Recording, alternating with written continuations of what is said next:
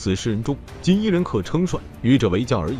而这唯一被老蒋认可有资格成为元帅的人，就是共和国元帅之首朱德老总。蒋介石和朱德老总年龄相仿，两人几乎是同时参加的革命。朱老总自参加革命后，就一直在南征北战。他参加了重九起义、护国战争以及护法战争，优秀的作战指挥，才能让朱老总很快就名声在外。朱老总成为众多革命者心中崇拜和敬仰的对象时，蒋介石才是个无名小卒。他早听过朱的老总的威名，心中也是倾慕已久。然而由于信仰不同，两人走上两条相反的路。蒋介石对朱老总的仰慕转变为了恨，因为朱老总实在太优秀，有他在对蒋介石的国民党。是极大的威胁。